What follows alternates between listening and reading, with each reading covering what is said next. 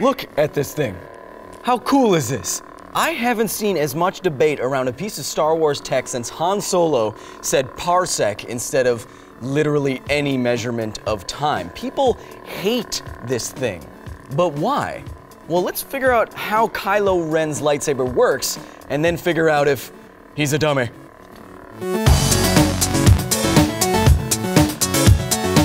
Okay, so by now we've all seen and heard all the many objections to Kylo Ren's tri-saber. People say it's dangerous and impractical and um, not a true lightsaber. However, the design is based on some ancient weaponry that did serve a purpose. In a previous Because Science, we did go over how a lightsaber might actually work. Using an energy source that is centuries ahead of our own, it creates a plasma that flows in a tightly coiled ring harnessed by magnetic fields and maybe the Force. If the energy source was there and you could control the magnetic fields correctly, a lightsaber is at least theoretically plausible. The sun, for example, creates lightsaber loops of its own all the time when huge blasts of plasma are drawn along serpentine coils of magnetism that are much larger than the Earth. We've even achieved this kind of control over magnetic fields and plasma before, confining plasma in a ring with magnets, all inside a gigantic device called a tokamak. So what's the point of Kylo Ren's lightsaber anyway? Those little lightsaber offshoots are called crossguards and have adored sword sides for literally a thousand years, offering hand and wrist protection to swordspeople. You see, when you don't have hand protection, this happens. And this, and this, and this, and this, and this, and this and this, and this. And this. I could go on.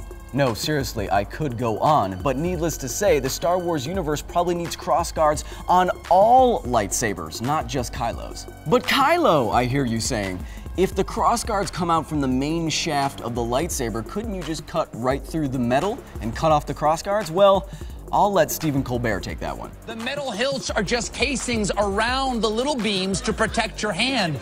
Even if someone slices through the metal, they're going to hit the beam right there. Any Padawan knows that.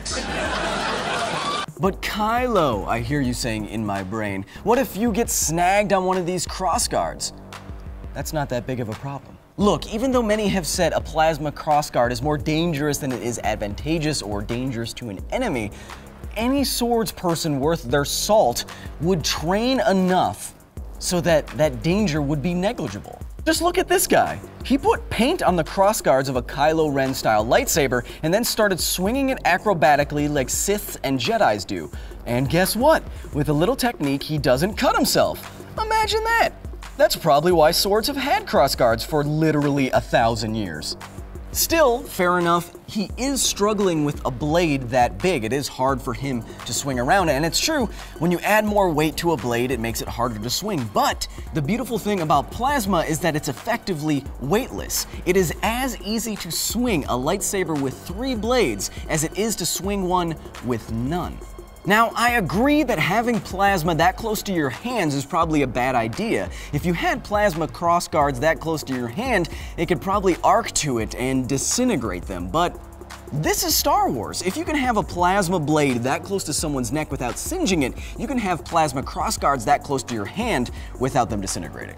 And finally, Kylo's blade even looks better than most lightsabers. It crackles and sparks like the sun's own lightsaber-like arcs do. So yeah, I said it, I think Kylo Ren's lightsaber is a great design.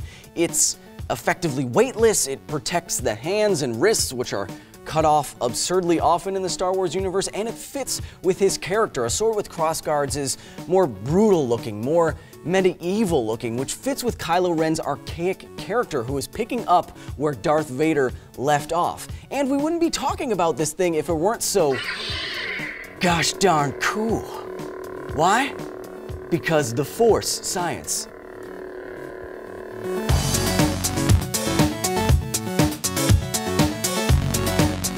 Want more science? Check out my last video on how we actually have TIE fighters now. Head back to nerdist.com for more videos if you want because science two days earlier than anyone else. Head to Vessel at vessel.com slash nerdist. And as always, if you have any comments or questions for me, you can hit me up in the comment section below. Thanks.